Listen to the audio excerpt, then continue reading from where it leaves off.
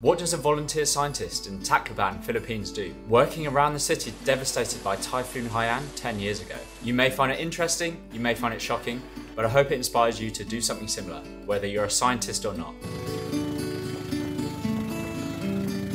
First things first, I'm a doctor, not a scientist. And I made some videos about volunteering as a doctor in the Philippines, which proved to be quite popular on this channel. However, the real behind the scenes hero here is my fiance, who organised this volunteering experience for both of us. And she's the scientist that you've come here to see. It's not often that you see scientists volunteering around the world. Usually it's doctors, nurses, sometimes paramedics, but scientists are often the unsung heroes of our healthcare system. And I'm so proud of my fiance because she really had to go outside of her scope of practice and do things that she would never usually do back at home in her usual role back in Australia. This video that you're about to see is about what she got up to from her perspective. I cannot take any of the credit for this.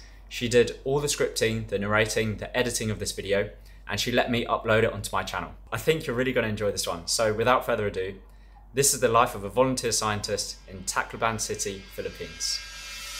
As you all know, my fiance Chris and I are doing volunteer work in the Philippines on the island of Leyte. Let me share some of our incredible experiences with you. Imagine living in a house made of bamboo or tin with no windows and little to no electricity in suffocating heat and humidity. That's the reality for many in the remote villages around Babatngon where we volunteer. But despite these challenges, the spirit of the people here are unbreakable. Around Tacloban and Babatngon, you still see the scars left by Typhoon Haiyan, one of the deadliest tropical cyclones in history. Our homestay mum, Adi Tess, shared haunting stories about the 22,000 body bags sent by the United Nations, and they still weren't enough, despite the news only reporting 7,000 deaths. Get international help to come here now, not tomorrow, now. This is really, really like bad, bad, worse than hell. Most people we met spoke about two different lives the one before the typhoon and the life after they survived. Seeing the abandoned houses on our way to work is a daily reminder of the tragedy. We live in the more developed town of Tacloban and travel one to two hours to remote rural villages, mostly by motorbike. Some remote villages are only accessible by boat.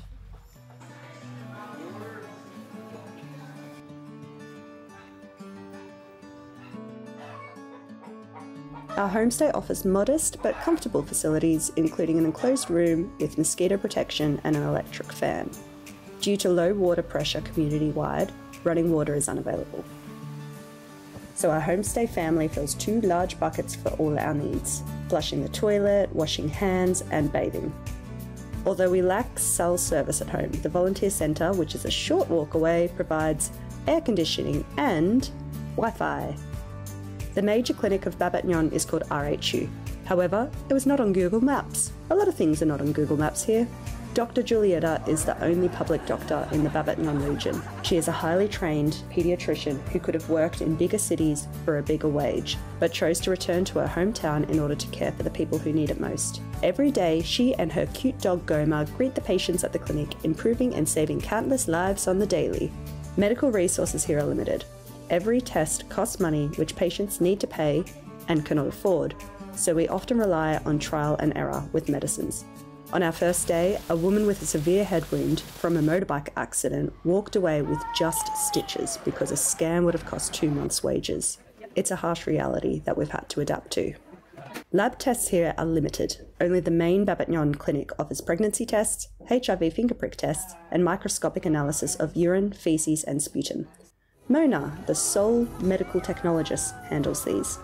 This video is from the annual Pregnant Beauty Pageant, which is a wonderful initiative to educate women on nutrition, possible complications, and to celebrate their beauty by strutting down the runway. I conducted the HIV testing while Mona managed translation and administration.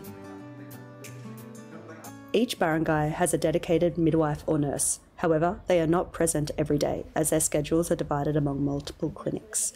Many local nurses speak good English, having completed their university degrees in the language. We have been fortunate to have their assistance in translating, as most locals only speak Waray.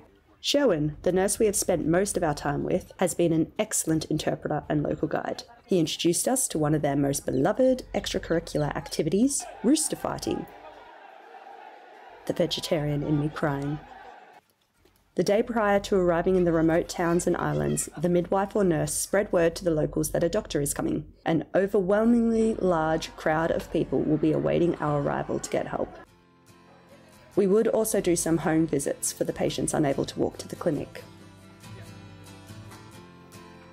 These local clinics are not immune to common community issues of frequent blackouts, no electricity, and ability to get clean ish water.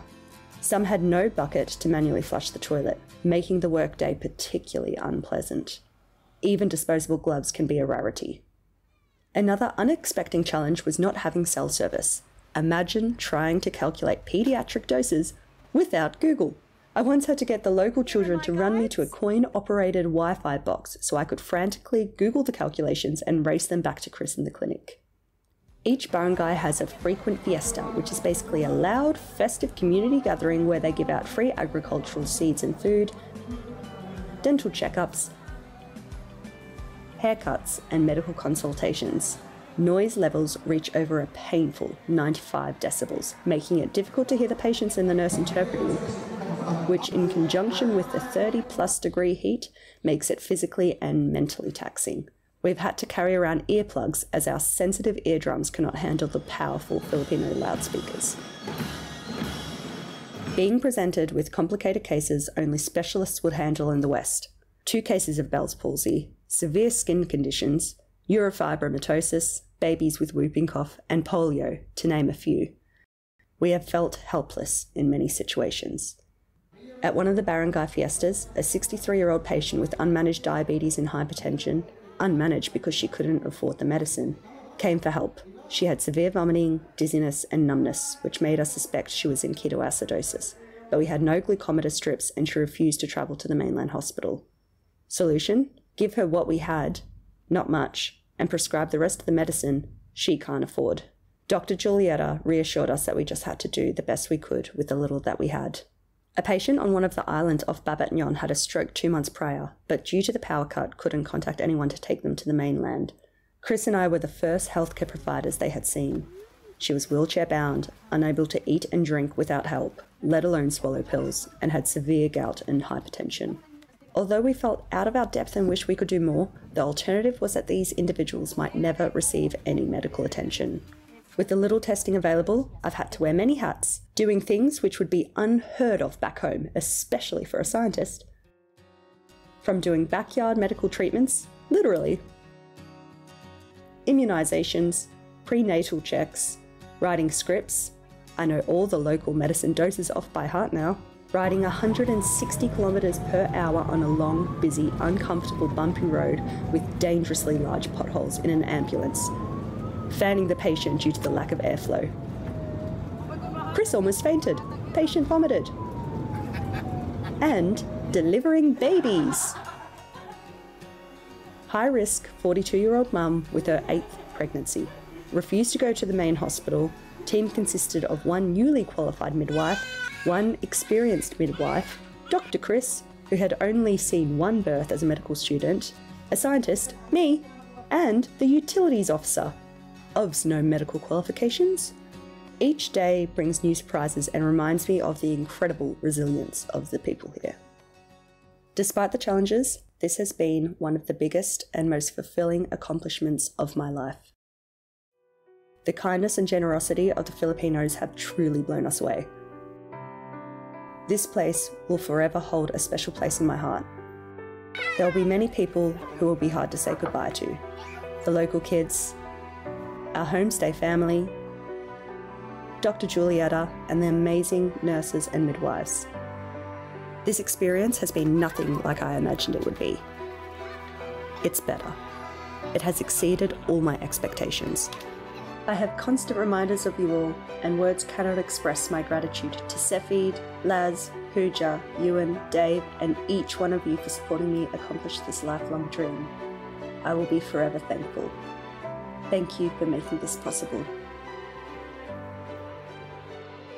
One, two, three, I hope you enjoyed that one. I'm so proud of my fiance who really put herself out there, going well beyond her scope of usual practice, and taking on responsibilities that are just unheard of for scientists. I think this really highlights that anyone of any background can help here. So if you're interested in volunteering in and around Tacloban City, or you just want to see what you can do to help, leave a comment below and I'll get back to you. Give the video a like if you think she did an amazing job. If you enjoyed that video, you may want to see the video from my experience as a volunteer doctor in the Philippines, Tacloban City. I'll see you there.